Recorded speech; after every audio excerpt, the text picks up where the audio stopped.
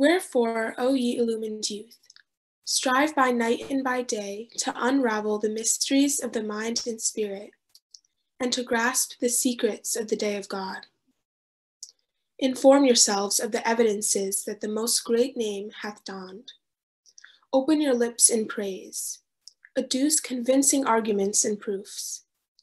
Lead those who thirst to the fountain of life. Grant ye true health to the ailing. Be ye apprentices of God.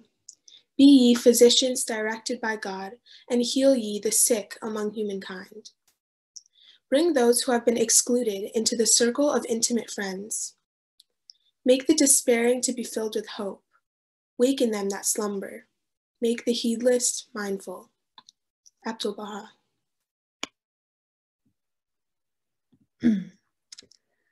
o ye my soldiers of the kingdom, be ye valiant and fearless. Day by day, add to your spiritual victories. Be ye not disturbed by the constant assaults of the enemies. Attack ye like unto the roaring lions. Have no thought of yourselves, for the invisible armies of the kingdom are fighting on your side. Enter ye the battlefield with the confirmations of the Holy Spirit.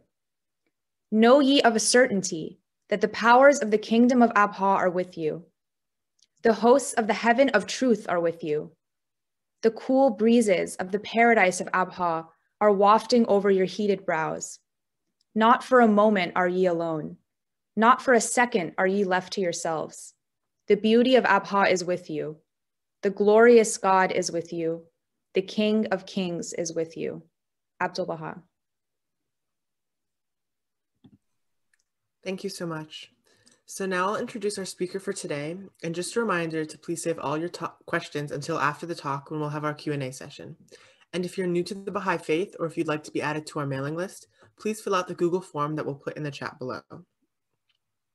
Our speaker this week is Dr. John Woodall, and his topic is Can Religion and Spirituality Help Teenagers Become Resilient from a Baha'i Perspective? Dr. Woodall is a psychiatrist, formerly on the faculty of Harvard Medical School, with special expertise in post traumatic stress disorder, resilience, and brain health. He was the director of the State Department refugee relief effort in the Balkans after the war there, and the convener of the Resilient Responses to Social Crisis Working Group at Harvard University. At the request of the Mayor's Office of New York City, he developed and implemented a citywide resilience building program for children after 9 11 that was also implemented in New Orleans and Mississippi after Hurricane Katrina and in northern Uganda. Since the Newtown tragedy, he has launched a series of resilience building efforts there. He is a medical director of Synergy Health in Sandy Hook, where he specializes in brain health, treatment resistant depression, and resilience. And with that, I'll hand it off to Dr. Woodall.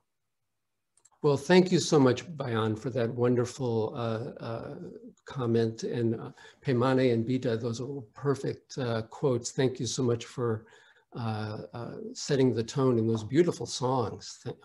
I, I, have to tell you, I feel entirely inept uh, to speak about this topic. I'll tell you a quick story about Mahatma Gandhi. a man came to him one day and said, Bapu, can you teach me how to quit smoking? And Gandhi said, yes, I can, uh, but you have to come back in a month.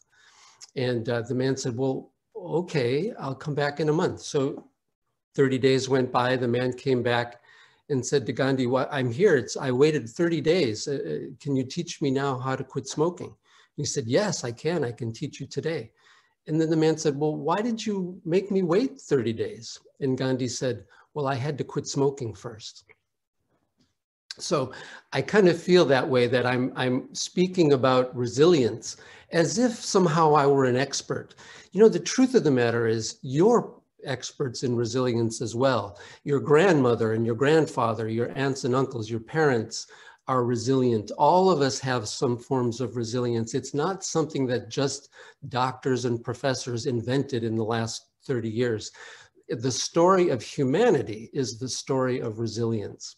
So we're in a conversation to help each other in our resilience. So I want to talk a little bit about uh, what that path looks like. And I was asked specifically to talk about religion in this context. So this gives us a great opportunity to really talk about very important core issues that are sometimes difficult to talk about in a secular context. But I think we have uh, language that can bridge that gap that I'd like to kind of explore with you.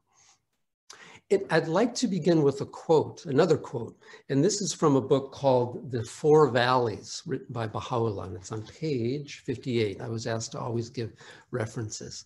The quote is, love never dwelleth in a heart possessed by fear. Love never dwelleth in a heart possessed by fear. Love never dwelleth in a heart possessed by fear. Well, I think that quote is speaking to us right now, and I'd like to unpack that idea a little bit.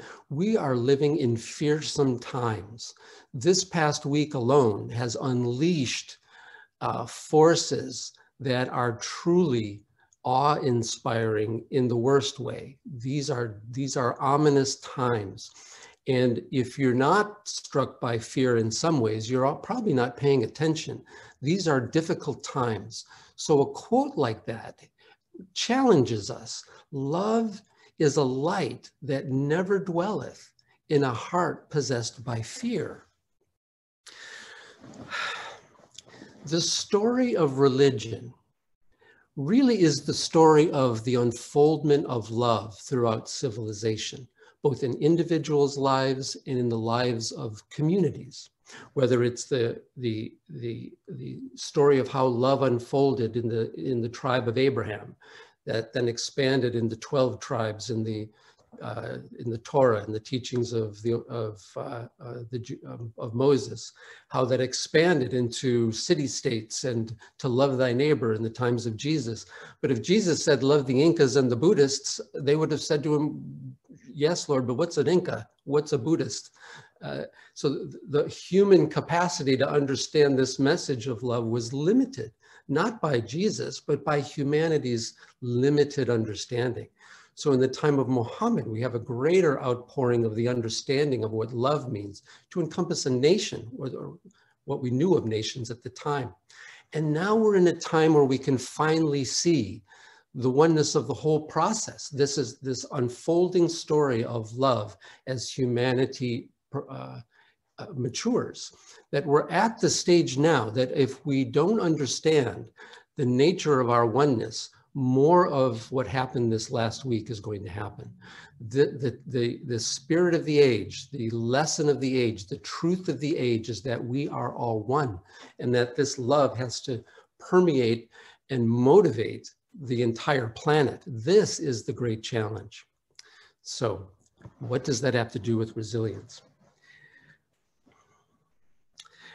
I wanted to talk specifically to the youth. I know that there's a lot, there are a lot of adults on this call, but my take is, is that the youth are the pivotal people, uh, not just in this conversation, but on the planet right now.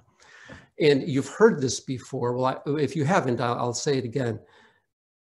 The, the world is in a tumult right now. It's in, a, it, the, it's in the throes of the death pangs of all the isms that divide us, racism, sexism, uh, nationalism, uh, classism, you name an ism, and those isms are, are tearing at the fabric of civilization, right?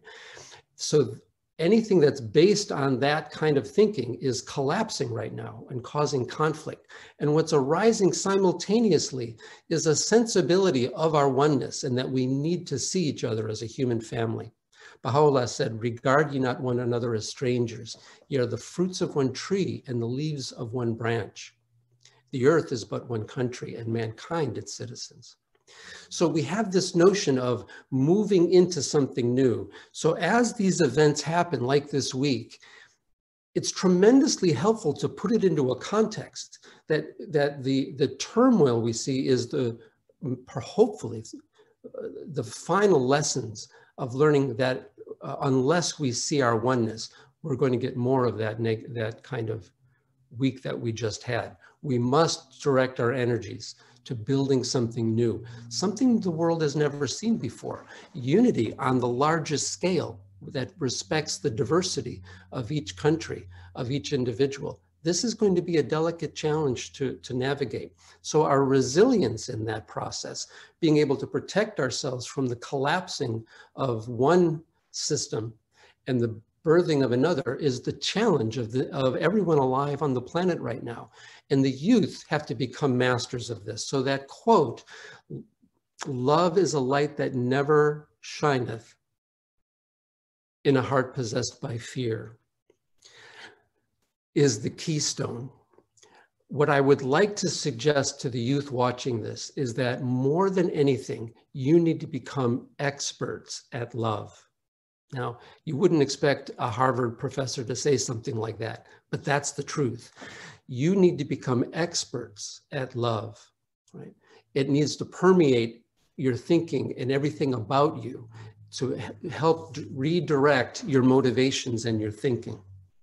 Now, let's talk a little bit about the times we're in and, and fear. One of the things that I do uh, in my work uh, as a psychiatrist is I've worked with people who've had tremendously bad things happen to them, whether it's been in war, uh, uh in natural disasters and genocides, and kind of bizarrely and ironically, my wife and I live and work in Newtown, Connecticut, where the terrible school shooting happened. Many of you will remember that. Some of the, the teenagers, you might have remembered that you were maybe 10, 11 when that happened. If you're younger, this is a horrible school shooting that happened right down the street um, where 26 individuals were killed, uh, 20 first graders. It was a horrific experience. So this is very personal for us as well. How do we find light in the middle of horrors like that? Or how do we see ourselves in the middle of this storm that's brewing in the world right now? And, and I want to begin actually by showing you this. Do you see what that is? Yeah, it's a lollipop, right? And I'm gonna turn it around and I cut it in half. Now you see how it's got that chocolatey center in the middle, right? Right. I'm going to describe you as a lollipop, all right, to make an example. Okay.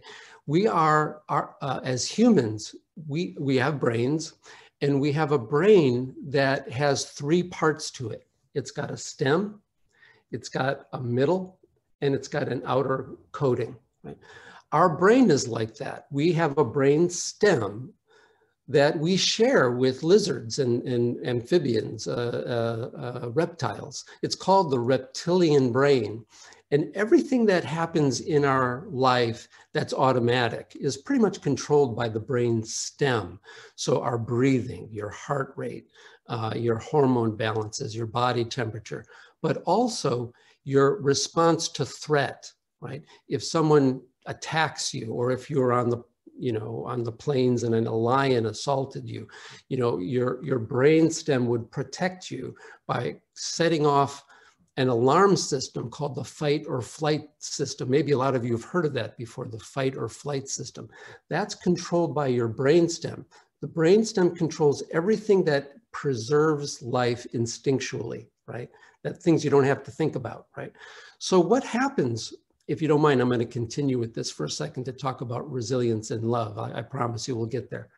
So let's say you stepped into the street, uh, you're playing ball with your friends and you're paying attention to the game and uh, and someone hits a ball into the street and you go running into the street without looking and then suddenly you hear a car approaching you. You look up, there's the car. What happens? Immediately you startle, like this and you jump out of the way, right? And the car goes by and your heart's pounding, you're breathing fast and you're, you're very afraid. That response is called the, the fight or flight response.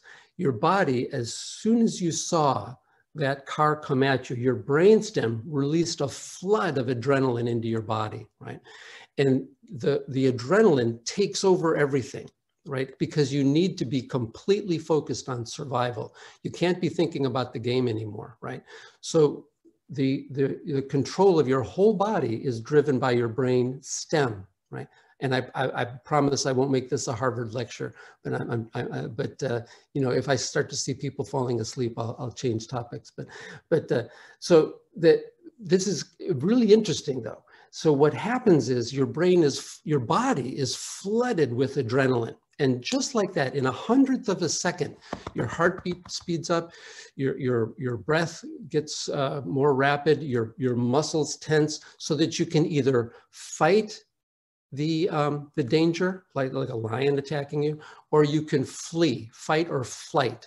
So you have to be ready for that, right? So the adrenaline makes you either ready to fight or flee, all right? So um, just like happens when, uh, when the car's coming at you and you jump out of the way, you flee, right? So now what happens in the next part of the brain, that, that uh, chewy nougat center part of your brain, the, the, the chocolatey part, what happens in that part of the brain? Well, once that adrenaline has taken over your body, it also takes over the middle part of your brain, right? The middle part of your brain is where your emotions and your memories are. Now, what two emotions would best help you fight or flee a, a, a scary situation? fight or flight. Well, if you if you needed to really be focused on fighting that lion, you better not be laughing, right? And you better not be bored, and you better not be, uh, uh, uh, you know, um, I don't know, think of any other feeling. The best emotion for you if you have to fight a lion is anger, right? And rage even, right? So anger is a survival emotion that's designed to help you fight a life-threatening uh, event. Make sense?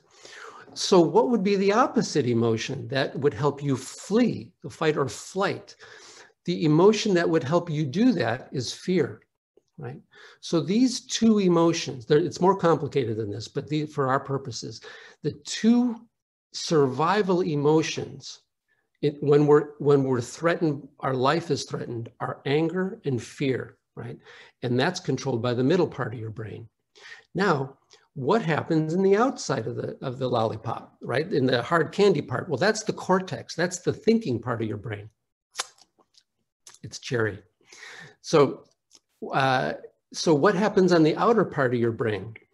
The outer part of your brain is also now controlled by adrenaline, and it's directed to look for threats, right?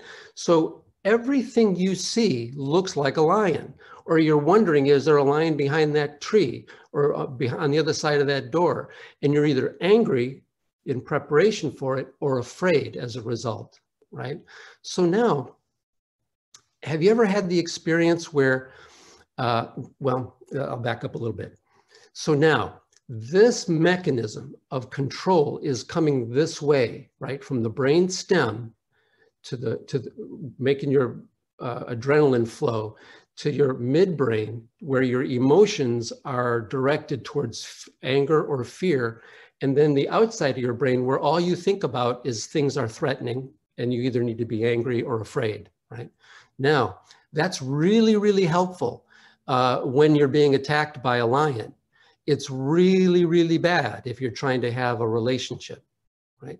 If you're trying to have friends, if you're trying to be in a family, if you're trying to be in a community, if you're a nation, if you're a, a, a global community, if everybody's in flight or fight or flight mode, we're, we're done, right? Because everything you perceive looks like a threat, right? So when people are angry and afraid, they tend to stay angry and afraid. Have you ever had the experience where you've gotten upset with somebody, you know, and then an hour later when you're not mad, you're like, ooh, boy, I totally got that wrong. They weren't saying something mean to me. They were just saying something. But because I was kind of defensive, I misperceived what they meant. Oh, boy, I got to go apologize. Right? Or have you ever been like um, uh, laughing hysterically with your friends and then every stupid thing is hilarious, right? And then an hour later, when you're trying to explain to somebody what you were laughing at, it just sounds dumb, you know? But, but when you're in that emotion, everything reinforces that emotion in your perceptions, right? So again, the control is going this way from, from the brain stem to the midbrain to the cortex, right? So what does this have to do with love and religion, for God's sakes? For God's sakes. Well, what is happening to us in, in the world is that we're in a chronic state of being controlled by our brain stems, our animal nature, our lower nature, our reptilian nature, right? So that means we're always reacting out of fear and anger, right? And so over time, that becomes very depressing. If, oh my God, everything is a threat out there, why do I even want to be alive? I feel so alone. I feel so, you know, beleaguered is a word that means when you're when you're being surrounded and, and attacked. If you feel that all the time, what life starts to get small, right? Life starts to get pretty meaningless or desperate, right? And so people either contract on themselves and become smaller, or they start being more aggressive, kind of like Wednesday, right? So we're in the middle of a world that's captivated by its brainstem, right? And set up to create more aggression and more fear and more anger, right? This is the huge challenge of our time, right? How do we reverse this trend from going from uh, being in fight or flight, where we see everything either through anger or fear, and then uh, uh, act towards each other with survival mechanisms instead of real cooperation. The purpose of religion, you could say, if God were a, a psychiatrist or a neuroanatomist, is to reverse that, to go the other way, to control, to calm down the midbrain so that you're not just responding with fear or anger, to widen the scope of your emotional life so you're not you're not a prisoner to survival emotions, right? and uh, two of them are anger and fear. Well, there's others, greed, you know, uh, there, there's others. So to not be controlled by those survival emotions and the brainstem. You know, in Newtown, after the crisis, we started something called uh, Peace Builders for the kids in town. And we talked about this. I didn't have a lollipop at the time, but we talked about the same thing. But we talked about how the stem is the is the reptilian brain, the lizard brain. And one of our sayings was, uh, you're 11, you're 12, you know, you have extraordinary power to help change the world because you're not full of all these prejudices that adults seem to be carrying around that we're all suffering through. So the big challenge of life is to not be a lizard. So that's one of, was one of our sayings, don't be a lizard. When bad things happen, watch that fear, watch that anger, because it's going to set you up for more conflict in your life. How do we go this way? How do we have the higher part of our brain control our life? And that's where love comes in. Love is a light that never dwelleth in a heart possessed by fear. You could also say anger. Right? It's a quote from Baha'u'llah. So the real task is to enkindle a different pathway in the brain, right? A different thing, something else that controls us other than just sheer survival mode, right? Of, of, of the fight or flight response. What else can motivate us? What else can guide our thinking? The answer is love, right? In every form, right? And the story of religion is really, it's not a story of teachings or doctrines, really. Uh, it, it really is a, a, story of the unfoldment of love in individuals' lives so that they can bring out those qualities that the outer part of your brain have that control your brainstem your lizard brain. That's what religion is for, right? If it does anything else, if it's used to divide people against each other, then you got it wrong. It's better to do without it, right? It's much, much better to do without a religion that divides people because it's not what religion's for. Religion is for bringing out qualities. Now, here's the next neurological point. When we're born, uh, that brainstem is working on overdrive because it's the most developed part of your brain, right? When you're born. The outer cortex is, it's called the pluripotential, pluripotentiality. It's got all sorts of potential, but very little actual capacity, very little actual skill, better word. So that's why we're, we're kind of born half baked. You know, we have to be fed, we have to be changed, we have to be nurtured, we have to be taught language. Other animals, you know, a giraffe is born and it just joins the herd. It's ready to go. Not humans. We need training and nurturing. And, and so what happens when we're born, our, our brainstem is completely developed, right? And it's keeping us alive. We cry when we're hungry. We wriggle when we need to be held or when we're wet, you know, and slowly, slowly, we're learning skills in our cortex, language, how to be kind to others, how to be cooperative, how to think abstract thoughts, you know, and then over time, what happens is this reverses where our cortex is running the show and our brainstem is becoming quieted, right? We learn to count to 10. You know, how many times does your parents say, you know, when you get angry when you're a little kid, well, count to 10, go, go to your room, come back when you're calm. That is a training. It's training your cortex to quiet down. It's training your cortex to quiet down your brainstem. It's, a, it's not just a moral or ethical training. It's actually a neurological training where you're nurturing the, the, the cortex of your brain. Right. Now that's best facilitated through the emotion of love, right? It's not well facilitated through the emotion of shame or guilt or, uh, or the fear of uh, being punished. It's, it's best facilitated through, through love, the experience of love. Teenagers get this. Teenagers completely get this. And so now, we're going to talk a little bit about then what, what we're really doing. Uh, Baha'u'llah said this in an amazing way. He, um, he said, uh, and this is in a book called Gleanings from the Writings of Baha'u'llah on page 260. He said, regard man as a mine rich in gems of inestimable value. Now, what an interesting concept that we're a mine. It's that same idea that we have these potentials that are not evident when we're first born, but that they're developed over time. If you're standing on a mountainside and there's gems beneath two feet beneath your feet, if you don't know they're there, you won't go digging for them, right? So one of the main tasks of religion is to tell you that there's gems right under your feet, right? And maybe really deep as well, right?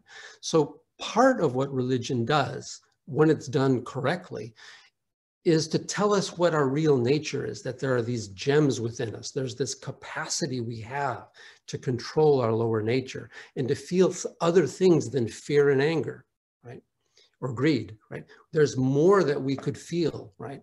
So the process of becoming spiritual or religious isn't so much about, uh, you know, learning doctrines. It's about bringing out gems, right? It's about mining the gems.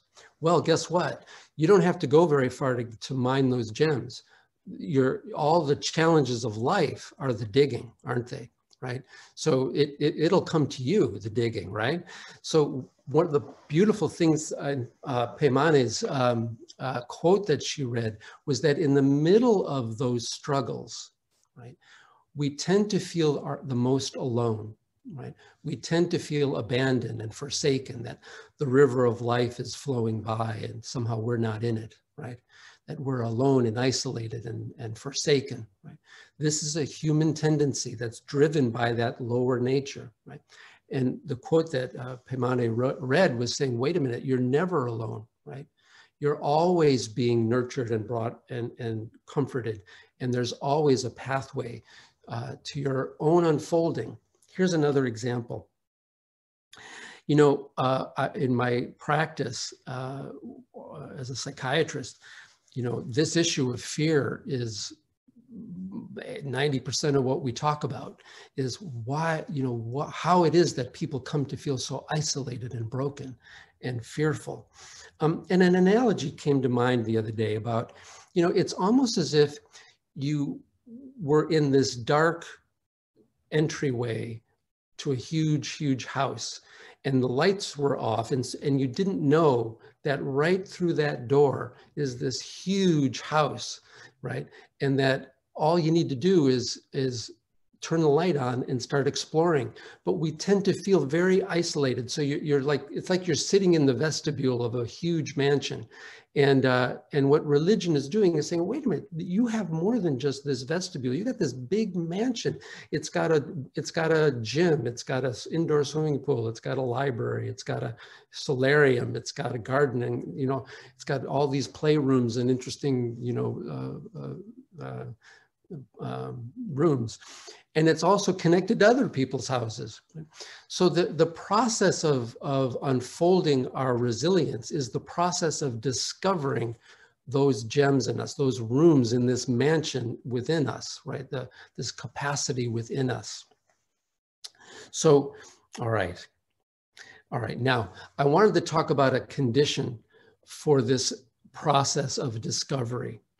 So if we have that first quote, that love is a light that never dwelleth in a heart possessed by fear.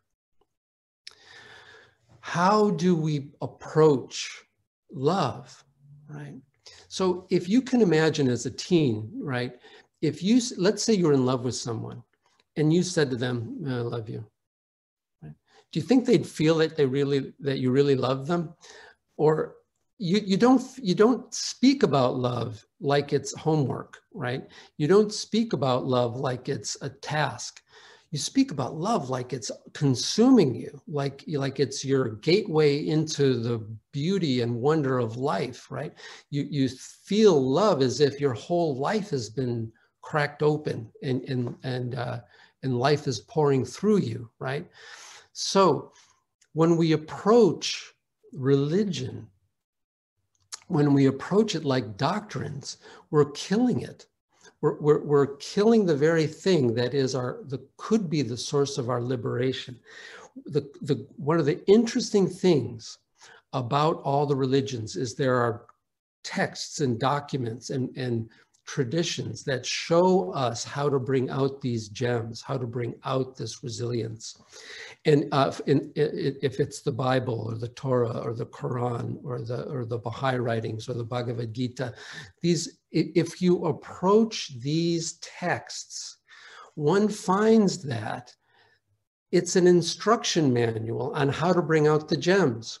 It's an instruction manual on how to quiet the fear and the anger and kindle love so that you have a way through life's struggles that is other than fear and anger, right? So that this potentiality, this love digs out and brings out those gems, right? So love is the key. Love is the key. Now, how do you approach love? with all your heart, right? So there's another quote of, of Baha'u'llah from the Persian Hidden Words, number 19. He says, approach me not with lifeless hearts. That's like God speaking. Approach me not with lifeless hearts. It's like to a boyfriend or a girlfriend. You don't say, oh, I love you. Hmm. No, it's like, I love you. It's, you're, you're, you're, in, you're enkindled with love, right? That process of enkindling causes your midbrain to go to just completely open up, right? Suddenly, potentiality is opened up in your cortex. There's, it's a neurological fact. Love opens up neural networks in the cortex that were previously not open, right? You're capable of thinking things you never thought before. You're capable of experiencing the world in ways you never, it never occurred to you before, right? Because it, well, because it was potential. It, love is the tool that opens up our capacity. It's what opens up our resilient capacity. Now, we're coming up on time and then I'll, and I'll, I'll be quiet in just a minute. That, that's a hard thing for me to be quiet once I've started talking.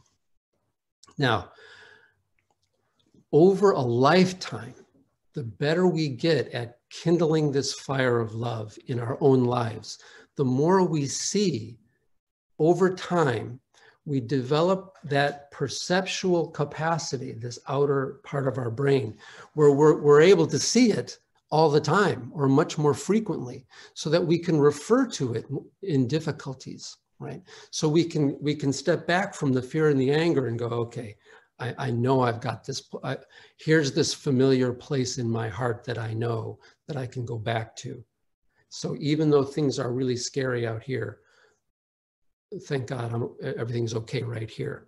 That process evolves over a lifetime. The sooner you begin cultivating that, the better your life will be, right? Right. So there, if if the process begins today, perfect. Start today. Begin kindling a fire of love in the heart that can replace the fear and the anger of the brainstem, right, with something better so that in the midst of trials and difficulties, you become more of who you are and not less. It really is that simple, right? Cultivating that over time, in the Baha'i writings, it's referred to in a number of, of ways, the, the result of that cultivation. It, in some places, it's called assurance.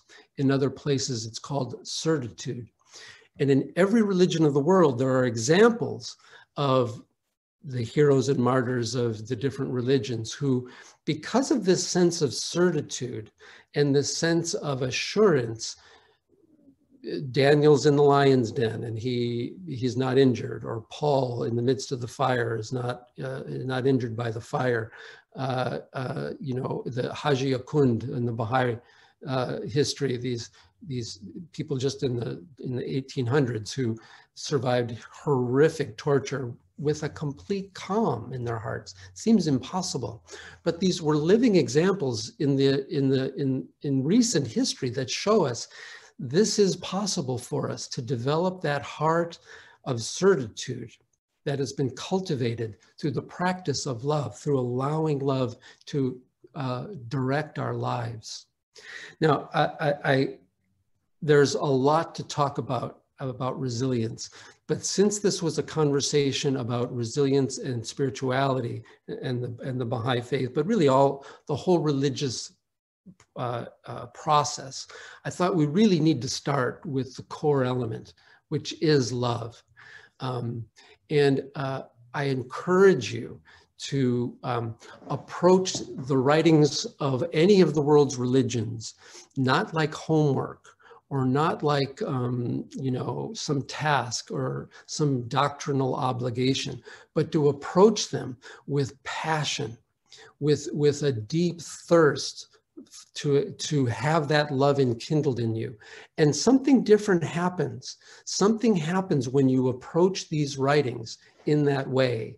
Uh, it feeds the heart, sometimes in mysterious ways, we find ourselves stirred. Parts of our that house we were talking about, suddenly lights go on in rooms of our inner being that we didn't know were there, right? That's what we want. We want the struggles of life to be opening us up and not closing us down. Now I'll, I'll end with, with this and then we can speak together. Um, the more you do this now, the more you'll be prepared for the headwinds that are ahead of us uh, soon. Right? The world is in great danger right now. It's also on, on the verge of witnessing some of the most beautiful examples of loving unity that we've ever seen, that the world has ever seen. Your generation as young people is to be the midwives of that process, is to facilitate it and never be disheartened just as that beautiful quote that uh, wrote, uh, read in the beginning, maybe we'll have you read it again to close when we're done, is that we are not alone, that there are, there are lordly powers, there are divine forces even that are working to support this birthing, right? So in, in the midst of your deepest trials, be assured that the power of love will guide you be assured that the power of love will guide you. Be assured that the power of love will guide you. Love never dwelleth in a heart possessed by fear. Okay. All right. I think we'll close there. Peimane, could you read that quote again, please? Sure. O ye my soldiers of the kingdom, be ye valiant and fearless. Day by day add to your spiritual victories. Be ye not disturbed by the constant assaults of the enemies. Attack ye like unto the roaring lions. Have no thought of yourselves, for the invisible armies of the kingdom are fighting on your side. Enter ye the battlefield with the confirmations of the Holy Spirit. Know ye of a certainty that the powers of the kingdom of Abha are with you. The hosts of the heaven of truth are with you. The cool breezes of the paradise of Abha are wafting over your heated brows. Not for a moment are ye alone. Not for a second are ye left to yourselves. The beauty of Abha is with you. The glorious God is with you. The King of Kings is with you. Abdu'l-Baha. Thank you, Pimani. Just one last comment on that. The, the, the battle he's talking about isn't physical fighting, it's the battle within us. And it's the, it's the withstanding of the negativity, the, the fear and the anger, the, uh, and withstanding it with love. That's what he's referring to. All right, friends, thank you so much. And I apologize for going a little over, but I'm, I'm anxious to hear your thoughts. Thank you so much for your talk, Dr. Woodall. It was so interesting. I never really thought how like religion, spirituality, and like neuroscience, those kinds of things come together. It was really interesting to hear your perspective. Mm. So um, now we can have a, a Q&A portion. So if you have a question, you can put it in the chat and I will read it out loud for you. So um, it looks like we have a question from Paymana and she asks, does the skill of emotional regulation arise from cultivating small practical habits or can it only be achieved by addressing deeper issues and wounds within a person? And how does spirituality and religion aid this process? It's a, it's a, it's a critical question. It, it's a, it is, it's a fundamental question. Um, both, uh, it's, it's both. Um, the, the, the, here's the issue when love isn't kindled in the heart, the, we have no motivation to do that, to, to kindle those skills. The, what, we kindle, what we pursue instead are defenses uh, from being assaulted, right? So we use psychological uh, mechanisms, psychological defenses to that are based on anger or fear right? We avoid certain sorts of people or we only interact with people in certain ways because of a fear we have that somehow we'll be degraded or, or undermined or disrespected in some way, right? So we, we have either angry or, or, um, or fearful uh, uh, psychological habits that we develop, right? So the nature of transforming that one is not motivated to try to transform that if one isn't motivated by love. One is in, one is motivated to maintain those uh, defenses, right? So we have people whose marriages dissolve because uh, one spouse can't help but seeing the other person's comments as being offensive, right? Or as being attacks or as being uh, degrading. And so the person who's doing the degrading doesn't see they're being degrading. They see they're being, they're, they see that they're being defensive, right?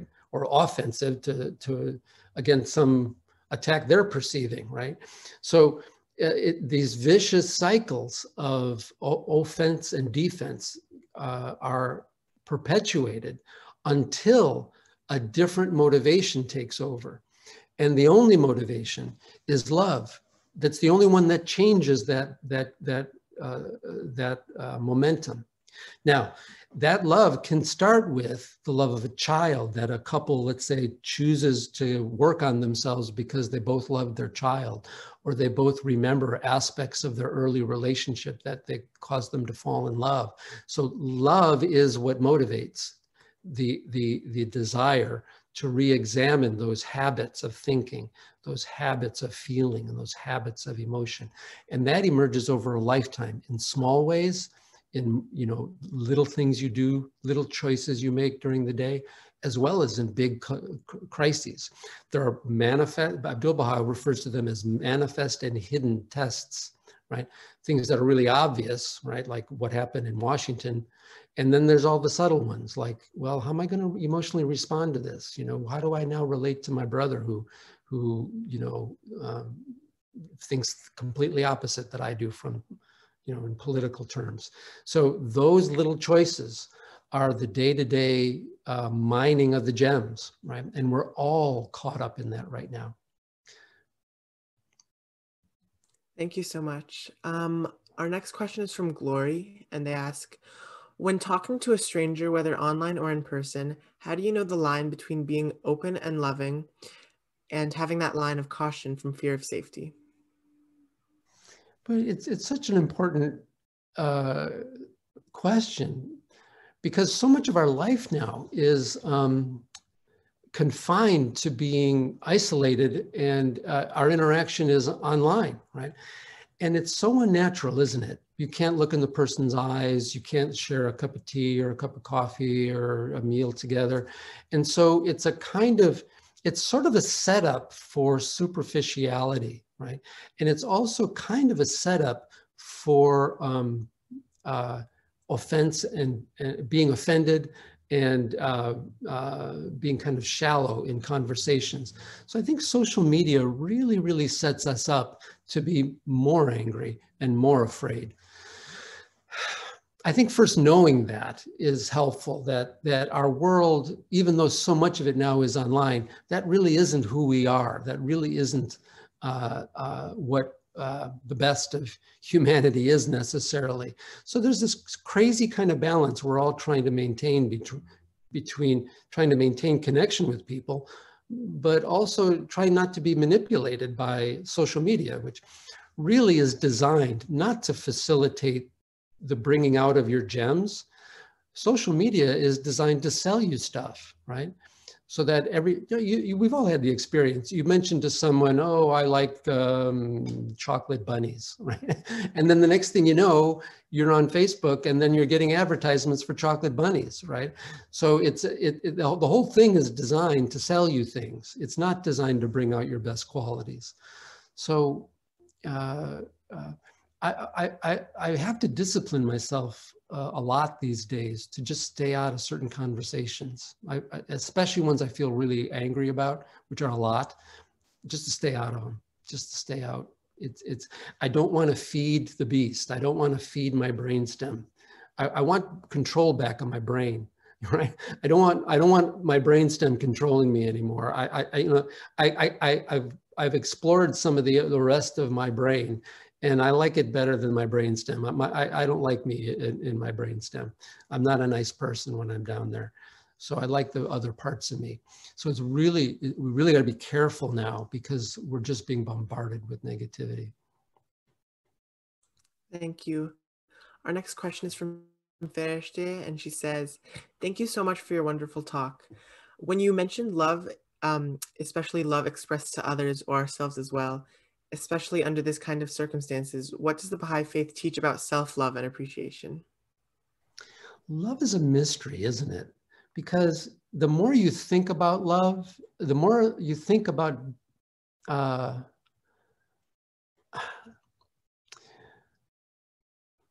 boy, it's kind of like asking me to explain the Encyclopedia Britannica or to explain the whole internet because it's it's a huge question, but it's it's a critically important one. Um, ask me it again. Ask me it again. Let me see if I can focus a little more. Um, so it says, what does the Baha'i faith teach about self-love and appreciation, um, especially how you mentioned uh, love expressed to others and to ourselves under these kinds of circumstances? Yeah. So uh, here's a here's a, a, great story that I, I re- has really helped me. Uh, um, Abdu'l-Baha, who is one of the founders of the Baha'i faith, one of the three central figures, uh, he once told a little story. He said, that, and I'm paraphrasing it, please forgive me for paraphrasing. He said, um, you know, people are like plants. They're like tender shoots that come up from the ground after receiving the, the warmth of the, of the rays of the sun and, and they, they, they become stronger and direct their their uh, buds towards the, the, the warmth and the nurturance of, this, of the rays of the sun. And then over time, the rays of the sun help this plant to grow and to put out branches and leaves. And with the, as the sun continues to pour its bounties on the plant, it produces fruit. So some people are like plants. He said, some people are like the rays of the sun. So I think we're all we're both. because uh, I know in my life, sometimes I'm the plant and I need the rays of the sun that my wife gives me, for instance, because she's uh, my best friend. And so I, God's grace comes to me through my wife, right? And then other times it's the other way around. Uh, something's happening, maybe I'm helping her out. So we're both, we're both. Now, that's one element of an answer. The other element is that there's at least, just for simple, simple terms, there's at least two parts to our nature as human. Remember, there's the brainstem part of us, right? And we could say that's the small s self, right? Right. It's the it's the survival self. It's the part that needs to be um, uh, that is looking to acquire things to stay alive, right? Then there's the capital S self, which is the, the self that really mm, is potential. It's something we discover over time as we grow in maturity and as we grow in the expressions of love that are unique to us, right? The, the, the special version of love that we are uh, destined to, to bring into the world. All of us brings out a special version of the light of love, right? And we have a unique gift in some way, right? So that's the capital S self. So in one way, we need to help this brainstem feel calm enough so it calms down, right? So that's the kind of love where we give to someone else to help them feel safe, to help them feel nurtured and, and, and, and, that the world is a place you can trust and, and that you can be nurtured in, right? But the larger self is the self that doesn't want any attention to itself. It only wants to be the light. It, it, it has no real interest in the self at all. It, all it has, all it's interested in is the light, right? So we have these two natures, right? So uh, on one answer, self-love of the, of the small s uh, uh, self can trap us in wanting the world to be about us, right? So that's the trap of the small s, is that it's the one that wants to acquire for the self it, without regard to, to others. But the paradox is that self also needs the love and respect of others to feel confident enough to let go of the brainstem survival motivations to move into the larger self. So it's a paradox, it's a little of both. So self love, if it means, look at me, aren't I great? Mm, mm, that might be better than feeling you're a horrible person, but it's, you know, it, it's, it may be some kind of first step uh, that you stop beating yourself up or stop, you know, uh, feeling horrible about yourself but um, but it's it's a way station. You know, ultimately, love is asking us to let go of concepts of ourself to become more right?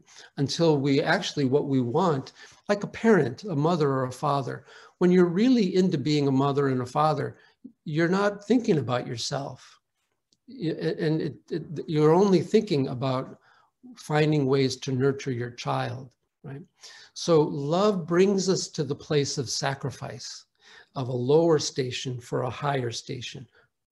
Love asks us to let go of our small self brainstem to become the a hard candy, um, uh, selfless servant, right? It's a mystery, isn't it? So actually, we find ourselves in love by forgetting ourselves. That's the mystery. Thank you. Our next question comes from Wilmer, and uh, they ask, are you aware of the work of Bruce Lipton, PhD, and Dr. Joe Dispenza? Is your work aligned to their research about the subconscious and conscious mind? Well, no, I'm, I'm not specifically aware of theirs. I'd be happy to learn more. But uh, the the subconscious is, you know, that's that's an old concept. It it it, uh, it goes back, you know, um, at at least 150 years. But but I'd be interested to know more. I, I know Robert J. Lifton, uh, but yeah, I think you said Lipton. Um, but no, I'm not aware. But the, again, the concept of the unconscious is, is kind of a foundational to all of psychiatry. Yeah. Our next question comes from Armin, and she asks, how and when did you become a Baha'i? I grew up in Wilmette, Illinois, where the house of worship is. And uh, uh, my grandfather helped build it and my his brothers and sisters worked for Corinne True, who was one of the main forces in building it. But I grew up a Catholic. None of my family were Baha'is. And I have to tell you, since we're speaking of resilience, I was 16 years old, very, very, very much a Christian and trying to find out what God wanted for me in my life. I'd had a wonderful spiritual experience when I was about 15 and I just really wanted to know what God wanted for me. And I just didn't feel like I was getting any guidance so that, uh, you know, you gave me this wonderful experience, God. Now, what do you want me to do? Right. And I remember this feeling so um, uh, abandoned by God that I must have done something wrong because it gave me this wonderful experience. And now, now I don't know, I'm not, I don't know what to do with it. So I must have done something wrong. Maybe I'm maybe I'm not worthy of this, or maybe I'm maybe uh, God like you know just dialed to another station and isn't interested in me anymore. So I, I was really perplexed and and deeply burdened by the idea that I didn't know what God's will was for me. I I didn't know how love was supposed to play out in my life, right? And I found most of what people were talking about was just stupid, irrelevant, and didn't feed me I think a lot of that's true for a lot of teenagers. They look bored. They're not bored. It's just that we're not feeding their hearts, right? They're, they're, they're, they're, they're waiting for someone to tell them that their heart can be on fire, right? With love, right? And, and that there's a mission for their life, right? And so they're, they're bored because people are just trying to sell them stuff all the time. And and they well anyway that that's another story. I got off track. So what happened was one day my friends and i really at a point where i was really desperate. I thought if i don't figure out what i'm doing here and what this love thing is all about i don't even know if it's worth being here anymore right? Because uh, it's like here's this wonderful gift and oh i'm going to take it away from you now so i i was perplexed so one night some friends of mine said well why don't we go to the baha because I was in Wilmette, the, so the Baha'i temple, we didn't even know how to pronounce it. We thought it was the Baha. Let's go down to the Baha. So we went down to the Baha and uh, we were sitting in the foundation hall area and, and, and that, this is 1972. And so there was a slideshow being played. And uh, my friends, we were 16, so they were doing things 16 year olds do. They were like hitting the, the, the chairs that made this echoing sound and they were laughing and, you know, and I was in turmoil thinking, man, I, I got to just find an answer. I don't know what to do. I, God really has to help me because I don't know what to do. And then all of a sudden, just like that, I had this thought in my head that sort of came to me like, don't worry, have faith. Just, you'll be guided. Just, take a step and you'll be guided. So it was like a big weight came over off my shoulders. And I thought, yeah, I, I just have to have faith. I've been caught up in fear and I got to let that go and just have faith. I'll, let's see what guidance looks like. Maybe I'll be guided. So I said, well, let's see what Baha is. So I walked out into the foundation hall where there were these displays and there were things I didn't really understand, something about kings and rulers, and I didn't get all that. But there was this one display that had um, the sun and it said God in the sun. And then out of the ray, then out of the sun came these rays. And each of the rays landed on a little quote with a name underneath it. And it turns out they were quotes from all the different religions. So there was a quote from the Bhagavad Gita, there was a quote from, you know, uh, Deuteronomy, and there was a quote from, uh, uh, from the Gospel of Matthew, and there was a quote from the Quran uh, about how the, the and, and from the uh, the uh, the Buddhist texts, and they were all about how the founders of that religion said they weren't the first one to come, and that someone else was coming, and they all said the same thing. And I thought, whoa, and then the last two names were names I'd never seen before. There was a, um, one was the Bab, B-A-B, and then the other one was Baha'u'llah. And I'd never seen these names before. And the quote from Baha'u'llah was that this is the day in which mankind can behold the face and hear the voice of the promised one. Well, here was lined up all these religions saying they're not the first and they're not the last, but someone will come who will bring it all together. And here was Baha'u'llah saying that was him. Well, I can't explain it, but I got hit in the forehead by a lightning bolt. And it just, all of a sudden, it just appeared, uh, occurred to me that, oh my God, there's only one God. There isn't like a different God for all the religions. They're all part of the same love story. And now is the time for us to come together as one. And it just hit me. Um, and uh, I was kind of put into an altered state. I, I, I don't even know how I got home that night, but I, I knew in the core of my being that this was true. So I would just walk to the house of worship and I bought a couple of books. Never occurred to me to talk to anybody. And I would read these writings that were like water on a dry sponge and they just healed me and nurtured me and gave me this orientation. Remember, like that house where the lights were off, suddenly lights started going on inside me, like, oh, I don't have to be afraid. I'm not lonely. I'm not abandoned. All these wonderful gems started stirring within me. Never occurred to me to meet a Baha'i. Never occurred to me. Then one day, five months later, I was at the house of worship uh, was down in the basement and a woman was giving a tour and I joined the tour. And someone asked a question and she would answer and then someone would ask a question and I would answer. And then you know and then we the tour ended these people left and she says oh well uh, uh, and the Baha'is have a, a, greeting they use it's Allahu Abha and she said that to me and I didn't know what that was so I didn't answer. And so she said well uh, uh are you a Baha'i? I said yeah I'm a Baha'i. She says, oh, well, where, where do you live? I said, well, here in Wilmette. Well, she was from Wilmette. And she's like, you are? she said, well, are you, do you, how long have you been a Baha'i? I said, well, about five months, something like that. And she said, oh, well, have you declared your belief in Baha'u'llah? I said, yeah, I think so. I don't, what's declared? What is that? She said, well, hang on a second. She showed me this card and it said, if you believe these things, you're a Baha'i. And I said, well, I already believe all that stuff. She said, well, if you sign it, you're a Baha'i. I said, well, no, I'm already, I, I believe that. Why, do, why does signing a card have to do anything? She said, well, the, she said, the point is that there's a community of Baha'is and, and you if you sign this, then it's like letting people know that you want to be a part of a Baha'i community. I thought, oh, and it's the first time it ever occurred to me that there could be a community of people who thought these things or that there might be value to that. So anyway, um, if I could just say one, I know this is getting long, but uh, the, the, next day was the, uh, an important day for Baha'is. It was the birth of one of the founders of the Baha'i faith, the Bab. And uh, so the next day I skipped school. I was so excited.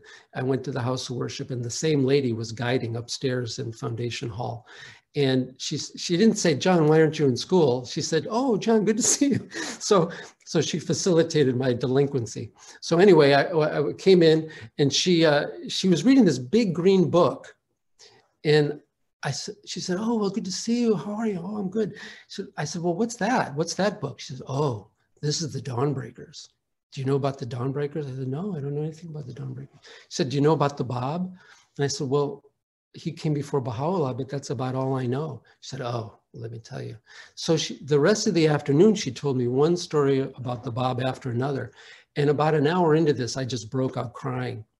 And she said, well, are you okay? What's wrong? Why are you crying? And I said, I think I made a big mistake. I don't know what to do. She said, well, why are you well, what? What did you do? And I said, well, I want to be a Babi, but I'm a Baha'i. So how do you, how can I be both? Do I have to be a Babi first and then be a Baha'i? Or how do you do this? She said, no, it's okay. If you're a Baha'i, you're a, you're a Babi also. So anyway, that's how I became a Baha'i.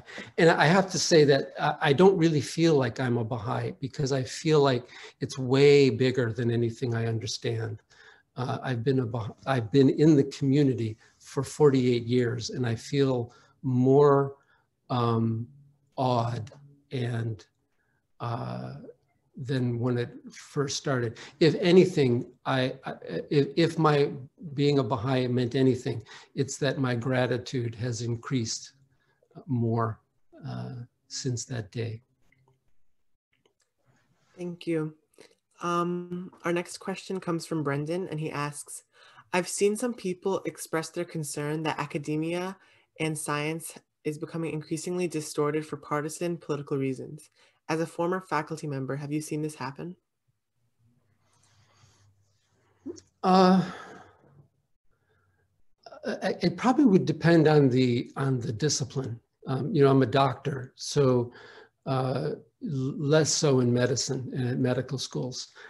So, uh, but some people are hired at universities because they're partisan, um, and they're they're they're they're there to uh, elucidate a partisan position, right? So that happens all the time. Yeah. Um, uh, what what the the reason I was invited to Harvard was because we were trying to do the opposite. We were trying to think, we, we were, this was in the early days of conflict resolution, that science in the late, late 80s, early 90s. And we were trying to figure out, is there another way to communicate and to explore the truth or what is true without taking sides or without having to be conflictual? Is there a way to have ideas clash and not people, right? Is there a way to preserve some sort of unity and even expand our unity by letting ideas clash and not people? So that, that was what brought me to Harvard. So uh, as much as the university can be a, a hotbed of division, there's wonderful things going on in a lot of universities now where, where people, especially the young people, are really trying to carve out new, new ways of being that maybe have never existed on the planet before. So I think as a young person, um, if you're not finding your career path right now, it might be because it doesn't exist and you have to invent it, right? There may be, the world may need a new way of doing something that's just stirring in your heart right now as a yearning that hasn't been defined yet, right? It's really a cool, it's a terrifying and really cool position to be in. Thank you. Our next question is from Aaron, and he asks So, as a psychologist, would you diagnose the disturbances in society as in their core based on the fight or flight response that it's been strongly reinforced on nearly all sides? Well, yes, I would. I, I would say that it's that lower nature that that uh, the brainstem is uh, uh, causing. Uh, the nature of my work was how the fight or flight response in an individual then projects into society, right? What, what then happens when groups of people then are all afraid or all angry, right? How, what, how does that affect their sense of identity? You know, so how, how is it that groups then make enemies out of other people, right? And, and choose to fight as opposed to find other ways to, to resolve conflict. That was, that's the nature of my, of my work. So uh, the, the bottom line is yes, I, I think this is critical. And uh, this is critical. And uh, uh, uh we need um, uh, much more science in how to quiet the brainstem, right? And, and how to bring out these higher aspects of human nature. We're doomed if we don't. So uh, absolutely, this is one of the critical, and you don't have to be a, a, a psychiatrist, I'm a psychiatrist. You don't have to be a psychiatrist or psychologist or academic. In fact, it might be better if you're not, but it, uh, especially a teen, getting going, getting that process going now in your life will only protect you and will only bring you happiness um, and, and success. It's a critical uh, uh, life task. Thank you. Maybe the life task. Our next question comes from Sharzad, and they ask, what is the best approach to direct the anger and fear in others to love? Uh, the, the first task is to quiet your own fear and anger. Yeah. Uh, your experience will, will prove that. Uh, think of the last time you were angry at someone and they were angry at you and you tried to convince each other of your opinion. Did it work? It doesn't work. As long as you're in an angry or fearful state, you're not interested in persuasion or being persuaded. You're interested in defending yourself because you feel assaulted, right? You feel attacked. So you're responding with fear or anger, right? Those are, so it's not about learning at that point. It's about defense, right? So as long as you feel anger or fear, you're not in a learning mode. You're in a dominance mode. you're trying to prevail, right? Abdu'l-Baha refers to this in the um, Tablets of the Divine Plan. He says it's the struggle for survival. And he says it's only through the love of God that we break this, this evolutionary drive of the fight for survival to come to the higher parts of our nature. Abdu'l-Baha says this. I didn't make any of this stuff up. Abdu'l-Baha is a neuroscientist in 1916, writing about this in the Tablets of the Divine Plan. Uh, yeah. Thank you. Our next question is from Patricia, and she asks, how do we swim in the social media and digital environments, nurturing our real desire to unite and love people? I, I think it's extremely difficult. Uh, venues like this are important. Um, uh, and we all feel how limited they are uh, yet still, right? You know, in this room that I'm in right now, this is my home, we would have 30, 50 people here every weekend, right? And now not having that, we're grieving that we can't have our friends here. It's very difficult. Um, but remember, the social, there's a great program that came out, The Social Dilemma. It's a, it's a, it's a documentary about social media. Facebook, for instance, just as an example, it's designed to sell you things. It's it, it's designed to see, you know, you like that, you made a comment on that, you posted that. So they start to see, well, this is a 45 year old person, that's a 17 year old person who likes, you know, puppies and, uh, you know, this kind of soda and what. And then once they know that, they sell your who you are to advertisers. That's why as soon as you you post something about whatever it is, boom, like within in seconds, you get ads about that. That's how they, that's their business model. So it's not about bringing out your best qualities. It's about selling you things. And in our materialistic culture, that's the motive of social media, right?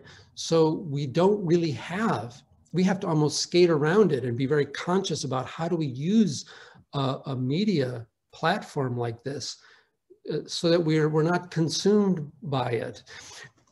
Really important point is that a materialistic culture, its purpose is to tell you, to sell you things. This is a fundamental principle of advertising. You have to be shown that you don't have something. You have to be shown that you're inadequate in some way, right? Your your your beard isn't quite right your hair isn't quite right but here's a product that can fix that right?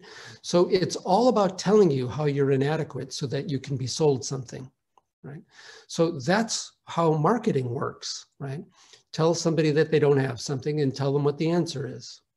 So what is the effect on this after being online for hours being told constantly that you don't have something and here's something that you should buy right after a while, you feel overwhelmed. You feel like you don't know how to prioritize things because you've, you've had to make hundreds of decisions a minute about whether or not something is something you want to buy or not. And it's exhausting. It, cause, it causes emotional and mental fatigue. It causes anxiety because each of these ads uh, over time is perceived as a threat because humans perceive uh, confusion as a threat. So if we're being asked to make a decision about 30 ads in a minute, we start to feel anxious because each of those choices that we haven't resolved results in anxiety.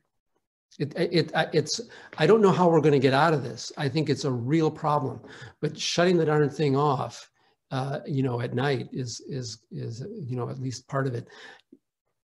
I, could go on. I, I, in my I teach a course on resilience online for parents of teens, and I spent two modules on this because uh, I think it's it's um, uh, really undermining our our our well-being.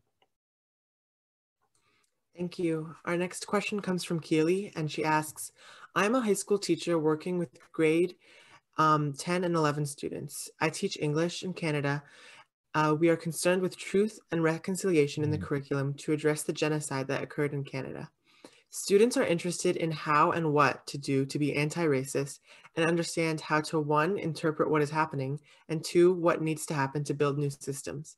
How would you describe the twin processes of disintegration and integration in a way that helps them see hope?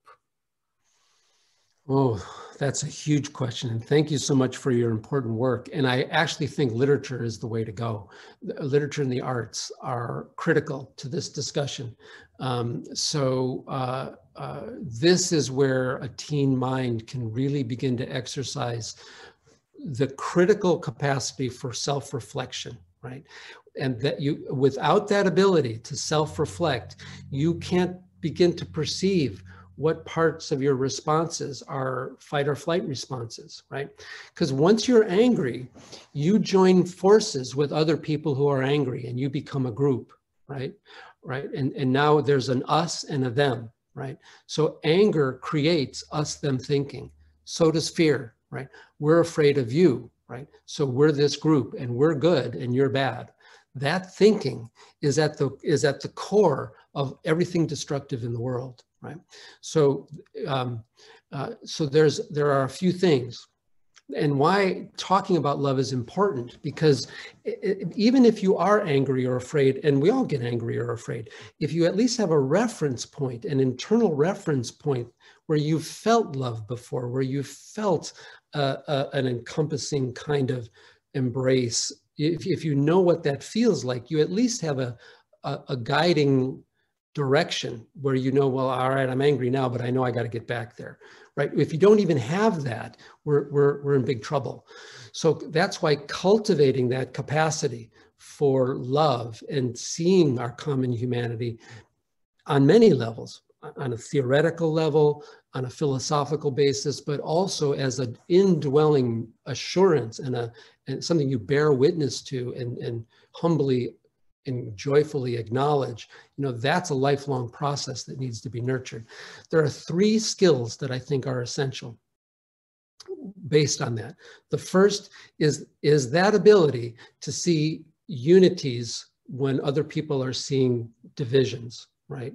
So how do you perceive a human picture when all the tendencies when people are aggrieved and oppressed, the, the, the, the, the perceptual lens is to see differences, only differences, right? We need to see differences, but how do we create a context for seeing the differences that's trust, that's safe and not accusatory and not blaming and not uh, riddled with anger and fear, right? And this is tough because oppression will cause us to feel anger and fear. So how do we find a context that can moderate that so that other people don't see your fear as a threat or your anger as a threat, right? So that's the, that's the challenge in creating unities is that we see each other's fear and anger as personal threats, and then you become uh, fearful or angry and keep the cycle going. So that's one. The second is the ability to perceive reality as it is and to observe your own bias. This is critical. It's critical thinking skill. Baha'u'llah refers to it as ansaf, or the or fair-mindedness. It's translated into English as justice. Uh, sometimes fair-mindedness, justice, adl ansaf. Uh, the ability to be fair-minded, to see things for what they really are. Now, remember, when you're angry or afraid, your anger and fear become a perceptual lens, right? And so everything you perceive now comes through that perceptual lens and colors it and gives it meaning. For instance, when you're angry at someone, everything they say or do makes you more angry at them, right? You there you go again. There's that thing you're doing again. And, then an hour later, when you're not angry, you're like, oh God, I totally misread that you know, and then you realize that because you are angry, you misperceived reality. Same with fear, right? Or if you're in love, right? everything the person who that you're in love with does something, it's like, oh my God, no one has ever picked up a pen like that before. It's the most amazing thing I've ever seen, right? And then once you're angry at them, it's like, oh, I, am not giving my pen. They can't have my pen, right? Right. So the, uh, our feelings become a perceptual lens. We're laughing with our friends, like I said before, then every stupid thing someone says is the most hilarious thing you've ever heard. An hour later, when you're not laughing, it's just stupid, right? So emotions become perceptual lens lenses, and then those become meaning contexts, right? And so now everything that this group does is um, treason, right? Everything this group does is evil. They hate America, right? Everything that, right? We're seeing it right now. Right? So the ability to, to, to reflect on what you th think and, and, to, and to divest it of the emotional overload so that you see things for what they are is, is fundamental to individual and, and group growth. We cannot grow as a species unless individuals cultivate the best beloved of all things, which is ansaf, the ability to see fairly without emotions of at least anger and fear. Then you can go on with greed and avarice and all these other things. So, and then the third thing, the ability to communicate in ways that facilitate unity and fair-mindedness right? Because you can have those as motives, but then if you use your language in ways that are mm, uh, uh, uh, offensive, right? Uh, or that reinforce division, you're you're undermining the capacity of the of you and others to grow in unity and fair-mindedness. So consultative skills, the, the, the ability to speak uh, using your language skillfully to facilitate an exploration of unity, right? Because uh, just believing in unity doesn't create unity. It's an exploration in the middle of a conflict. It's the, an exploration in the middle of a difficulty about how do we sustain what's common to us in the midst of these great differences. That's, that's the, the skill. You need, you need very specific communication skills to be able to do that effectively. So these three areas, the ability to maintain a sense of unity when all the psychological forces are, are causing us to be in camps of anger and fear, right? And reactionary to each other. Number one, huge, huge task. Second, the ability to quiet anger and fear so that we can perceive things for what they are and not what our biases tell us, right? And, and our biases are things that, ways we think that preserve our little identity, right? So that we don't feel assaulted, right? So to be, to be able to quiet that requires a sense of trust and safety that we feel we're not going to be assaulted if we, if we open our mind up to a new idea, right? And then again, the third idea is the communication skills that facilitate the other two to create new a, a, a, new solution that isn't just one idea dominating another right and but actually creating something that's bigger that includes everyone. These are, these are lifelong skills to acquire. If you're a teenager, it's get started. There's a great quote of Baha'u'llah. It's in a compilation of on consultation. It's at the bottom of the second page. And I can, that's as good as I can get. It says, um, no man attaineth his true station save through his justice, his ansaf, his ability to see things fairly. There is no power save through unity, and there is no well-being or contentment without consultation. These three ideas. Thank you so much. Um, now we're going to close just with one last question in the interest of time. So our last question is from Amir, and he asks, thank you for a very interesting talk. When we are guided completely by love, is there a worry that the leaders of a faith will exploit this openness and trust? Well, love isn't naive, and love isn't blind, and love isn't uh, without um, uh, discipline and form. You know, sometimes uh, as a loving parent, you have to tell your child to stop doing something, and you have to enforce something for their own good. So it doesn't doesn't mean being soft uh, only uh, it means never losing sight of our higher nature. It means never lo losing sight to how we all stand before the creator as uh, the children of, of in one family, right? So that might mean sometimes having to be even stern, right? So, but yeah, being naive and, and having a notion of love as only an emotional um, uh, softness, uh, uh, that would be a problem. Yeah. Uh, so let me let me take the the question a little deeper because I think this is what they're getting at. If you're trying to be loving to someone and they just want to manipulate you, uh, you know, are you being foolish by trying to be loving? It's an important question. I, I would I would suggest that uh, again, love isn't only uh, uh, passive forgiveness, right? It, it is that sometimes, but it's many things. And again, it, what it really, what it, it, it encompasses all virtue, right? So it means that sometimes you have to be honest and trustworthy. Here, here's an example. Um, sometimes love means saying something that's extremely difficult when you're afraid, right? So when you are being oppressed, to say to the oppressor, you're oppressing, right? That's a loving act, right? So the the the, the pro and I know this is this is a huge talk right here. Uh, every virtue you can think of is a uh, part of the spectrum of love. They're all if you if you like put love through a prism, it it divides into all the various virtues. Right now, the interesting thing is every virtue has its opposite. Right, so we're we're advised to be patient but we're also supposed to be assertive and not passive and, and you know get our life going. We're supposed to be uh, humble but we're not supposed to be cowardly right? So every virtue you can think of has its opposite right? And every situation in life will present us with a tension between opposite virtues that we need to kind of navigate situation by situation. So being lovingly kind might uh, be important with a, a, child who's just made a mistake and we need to kind of help them so they don't become demoralized.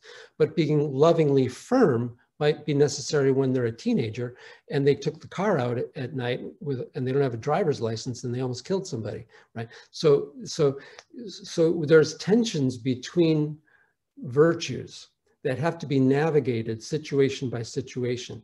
And what guides that process is a sense of our indwelling gems, our indwelling dignity, our indwelling capacity. So a respect for that process and a, and a desire to increase unity, as we just said, increase our sense of seeing things with justice or fairly, and communicating in a way that allows for the possibility of those other two.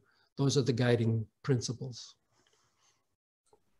Thank you so much for your talk, Dr. Woodall. I think we all really enjoyed it. And then the questions afterwards kind of deepened all of our understandings. Thank you so much.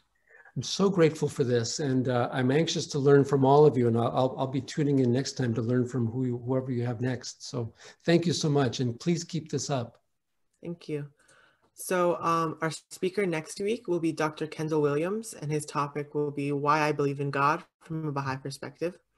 And again, these talks occur every Saturday at noon Eastern Standard Time, so please invite your friends and family. And if you're new to the Baha'i Faith, or if you'd like to be added to our mailing list, please fill out the Google form that we'll put in the chat below. And now we're just going to close with the Baha'i Prayer for America set to music. Oh, thou kind Lord is gathering, is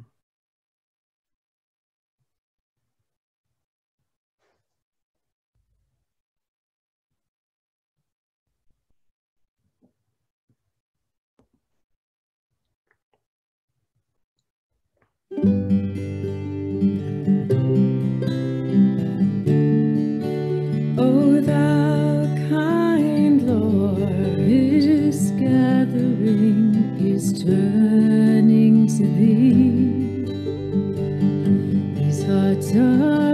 radiant with thy love.